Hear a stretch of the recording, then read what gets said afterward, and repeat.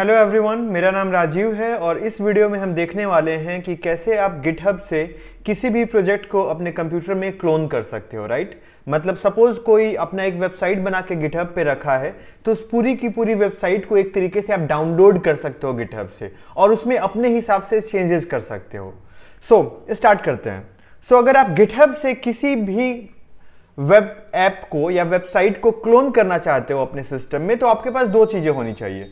सबसे पहला Git Git क्या है? गिट एक वर्जन कंट्रोल है, जिसका यूज़ हम करते हैं गिटहब वेबसाइट से कम्युनिकेट करने के लिए। सो गिटहब वेबसाइट अलग है और गिट एक वर्जन कंट्रोल है, जो आपके सिस्टम में इंस्टॉल होता है और जिसकी हेल्प से हम गिटहब वेबसाइट से कम्युनिकेट कर सकते हैं। मतलब वहाँ से कोड को हम क्लोन कर सकते हैं क्लोन करके अपने कंप्यूटर में ला सकते हैं और अपने कंप्यूटर के कोड को पुश करके गिटअप पे डाल सकते हैं। और एक किसकी हेल्प से करेंगे? ये करेंगे हम गिट की हेल्प से। तो सबसे पहले देखते हैं कि हमारे सिस्टम में गिट इंस्टॉल है कि नहीं और अगर नहीं है तो कैसे करेंगे। सो so, अगर आप अबंटू यूज़ करते हो तो टर्मिनल ओपन कर लो और अगर आप विंडो यूज़ करते हो तो पावर शेल या फिर विजुअल स्टूडियो कोड का टर्मिनल ओपन कर लो राइट right? तो मैं यहाँ पे टर्मिनल ओपन कर रहा हूँ। अब टर्मिनल में हम सर्च करेंगे। पहले आप सर्च करके देख लो कि गिट इंस्टॉल तो नहीं है पहले से। तो कैसे सर्च करोगे? लिखोगे Git then version V E R S I O N enter करते हैं। Okay okay. सो so, यहाँ पे अगर Git version something like this लिख के आ गया तो मतलब गिट ऑलरेडी आपके कंप्यूटर में इंस्टॉल है। और अगर नहीं है तो कैसे करोगे? तो उसके लिए लिखोगे sudo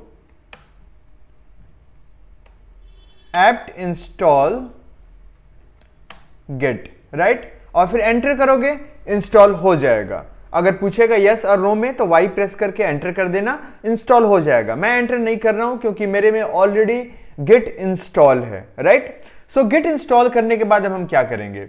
अगर विजुअल स्टूडियो कोड आप यूज़ करते हो तो उसको ओपन कर लो। मैं यहाँ पे विजुअल स्टूडियो कोड कोड को ओपन कर लेता हूँ। न्यू एम्प्टी वीडियो ये हमारा विजुअल स्टूडियो कोड ओपन हो गया।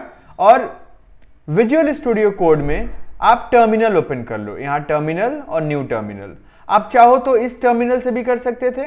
यहाँ पे जो हमने टर्मिनल जिसे हमने गिट का वर्जन चेक किया था, आप इससे भी कर सकते हो। और चाहो तो जो गिट विजुअल स्टूडियो कोड के अंदर टर्मिनल है, ये देखो नीचे टर्मिनल दिख रहा है, आप इससे भी कर सकते हो। तो हम एक काम करते हैं, हम टर्मिनल से करते हैं मेन टर्मिनल से। ओके तो अब हमें क्या करना है? गिट हब से कोई भी एक वेबसाइट क्लोन करना है अपने कंप्यूटर में। तो कैसे करेंगे? मैं कोई भी एक वेबसाइट ओपन कर लेता हूँ गिट हब पे सो मैं यहाँ पे यहाँ पे एक वेबसाइट है पोर्टफोलियो नाम से। एक किसी बंदे ने पोर्टफोलियो बनाया है। इसका नाम है Soumyajit four four one nine. User ID है गिटहब का।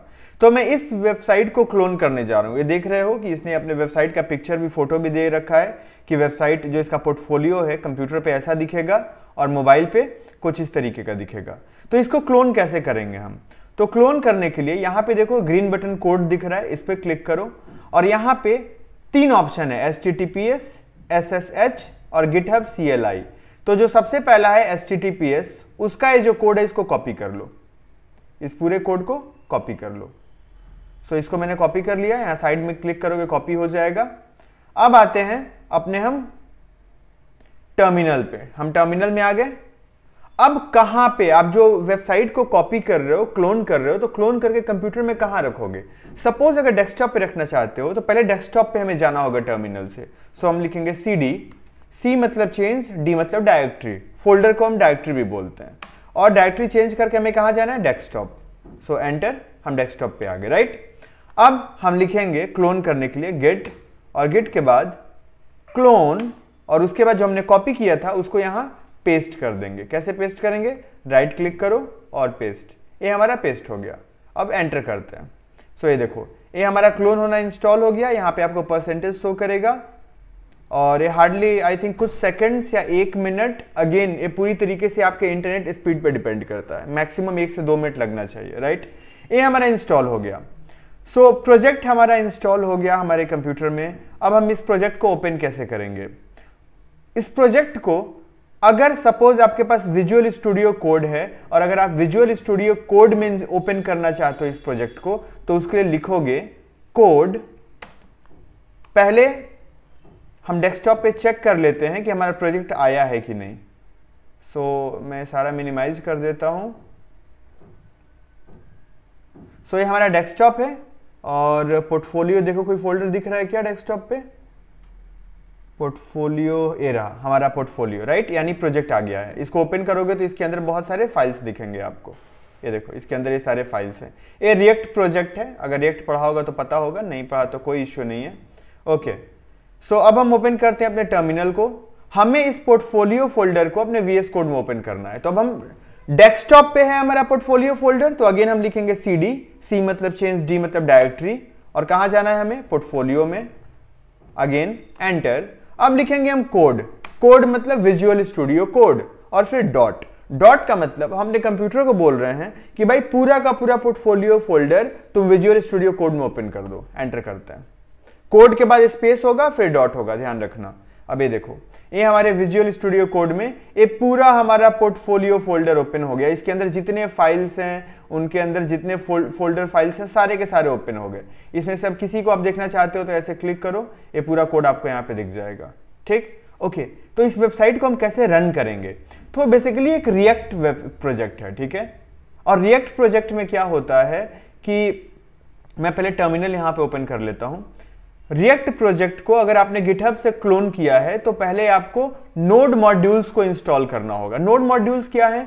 अब इस वेबसाइट में रिएक्ट में जितना हमने कोड लिखा है, उसका जो फ्रेमवर्क है, ठीक है, उसके लिए सपोर्टेड लाइब्रेरीज होती है मॉड्यूल होते हैं, उसकी साइज़ बहुत बड़ी होती है। तो कोई भी जब प्रोजेक्ट अपना गिटहब पे होस्ट करता है तो जो नोड मॉड्यूल्स नाम की फ़ाइल होती है, जो थोड़ी देर में आपको यहाँ पे दिखेगा, वो उसको हटा देता है। उसको गिटहब पे पुश नहीं करता है। क्योंकि वो बहुत ज़्यादा जगह भी लेगा गिटहब पे और बहुत टाइम भी लगेगा उसको गिटहब पे पुश करने में। तो कोई भी नोड मॉड्यूल फ़ाइल को हटा देता है। बट हम उसको आराम से इंस्टॉल कर सकते हैं खुद से। तो नोड मॉड्यूल्स फ़ाइल को इंस्टॉल करने के लिए हम लिखेंगे npm and then just install अब हमारा एनपीएम जो है, अगर अब मैं जो बता रहा हूँ, वो आपको तभी समझ में आ रहा होगा अगर रिएक्ट थोड़ा भी जानते हो तो। और रिएक्ट जावास्क्रिप्ट नहीं जानते हो तो कोई बात नहीं, ये प्रोसेस छोड़ दो। अभी जो वेबसाइट ओपन होगी आउटपुट देखना राइट सो एनपीएम क्या करेगा? ये पैकेज डॉट जेसन में जाके देखेगा कौन कौन से मॉड्यूल्स इंस्टॉल हैं इस प्रोजेक्ट में। और उस सारे मॉड्यूल्स के जितने सपोर्टेड लाइब्रेरीज हैं, सबको एक जगह, एक फोल्डर के अंदर नोड मॉड्यूल नाम के फोल्डर के अंदर इंस्टॉल कर देगा। तो देखो क्लिक कर एंटर करते हैं एनपीएम इंस्टॉल अब इसमें हार्डली एक मिनट दो मिनट या तीन चार मिनट भी लग सकता है डिपेंड करता है कि साइज़ क्या है नोड मॉड्यूल का हमारे पैकेज डॉट जेसन में कितने मॉड्यूल्स हैं जिनके लिए लाइब्रेरीज इंस्टॉल करनी है तो इस पर डिपेंड करता है. सो so, आप देख सकते हो कि हमारा नोड मॉड्यूल इंस्टॉल हो गया है. अब यहाँ साइड में देखो नोड मॉड्यूल नाम का आपको एक फोल्डर दिख रहा होगा. दिख रहा है? नोड मॉड्यूल नाम का फोल्डर आ गया। और इसको ओपन करोगे तो देखो इसके अंदर कितने सारे फोल्डर्स है और हर फोल्डर के अंदर बहुत सारे फाइल्स होंगे। उनके अंदर भी बहुत सारे फोल्डर्स होंगे। तो ये सारे सपोर्टेड लाइब्रेरीज होते हैं। अब इतना हैवी होता है कि कोई भी जो अपने वेबसाइट को, अपने कोड को गिटहब पे पुश करता है तो इस मोड नोड मॉड्यूल फोल्डर को हटा देता है। इसीलिए जब हम क्लोन करते हैं किसी भी प्रोजेक्ट को, अगर वो रिएक्ट का प्रोजेक्ट है या फिर नोड का प्रोजेक्ट है तो हमें नोड मॉड्यूल्स को वापस एनपीएम इंस्टॉल से इंस्टॉल करना होता है राइट तो अब हम प्रोजेक्ट को रन करते हैं और वेबसाइट को ब्राउज़र में देखते हैं। तो अगर रिएक्ट प्रोजेक्ट है, अगर इसको रन करना है तो हम लिखेंगे, एक क्लियर मैंने इसलिए लिखा कि ये पूरा डेटा यहाँ का हट जाए। हम लिखेंगे npm एंड देन npm के बाद इंस्टॉल npm इंस्टॉल और अब ये पूरा प्रोजेक्ट वेबसाइट थोड़ी देर में ब्राउज़र में, एक से दो मिनट अगेन इसमें लगता है। कभी कभी इसमें थोड़ा ज़्यादा टाइम भी लग जाता है दो तीन मिनट भी लग जाता है। तो अभी ये वेबसाइट में पूरा प्रोजेक्ट हमारा ओपन हो ओके सॉरी ये मैंने गलती कर दिया मैंने अगेन एनपीएम इंस्टॉल लिख दिया। हमें वेबसाइट को स्टार्ट करना है ना? सॉरी तो हम लिखेंगे एनपीएम स्टार्ट एनपीएम स्टार्ट जिससे वेबसाइट हमारी हमारा प्रोजेक्ट स्टार्ट हो जाए राइट सो so, हमारा प्रोजेक्ट ओपन हो रहा है स्टार्टिंग द डेवलपमेंट सर्वर और ये शायद ओपन हो गया। हाँ ओपन हो चुका है। हम ब्राउज़र को करते हैं ये देखो। ये हमारा प्रोजेक्ट ओपन हो चुका है। सो so, ये कितना अच्छा पोर्टफोलियो है। अगर यही पोर्टफोलियो आप कहीं बनवाने जाओगे तो शायद आपको हो सकता है ट्वेंटी टू थर्टी के पे करना पड़े या फिर आप खुद डेवलपर्स हो तो क्रिएट कर सकते हो। बट ये देखो अब अगर आपको थोड़ा सा आप रिएक्ट सीख दो दस दिन का आप रिएक्ट सीखने में टाइम दे दो तो इस पोर्टफोलियो में चेंज करके इसको आप अपना बना सकते हो और ऑनलाइन होस्ट कर सकते हो। So thank you for watching this video I hope कि वीडियो से आपको कुछ ना कुछ हेल्प मिला होगा। अगर वीडियो सही लगा तो चैनल को सब्सक्राइब करो, वीडियो को लाइक करो, इन अपने फ्रेंड्स के साथ शेयर करो। एंड इसके अलावा जो हमारा प्रोजेक्ट था पोर्टफोलियो उसका लिंक डिस्क्रिप्शन में है, जो हमारा बाकी चीज़ें मैंने जो गिट बताया है, जहाँ से गिट इंस्टॉल करना था, वो भी लिंक में मैंने दिया है। बाकी सारे डिटेल्स डिस्क्रिप्शन में दिए हुए हैं। सो थैंक यू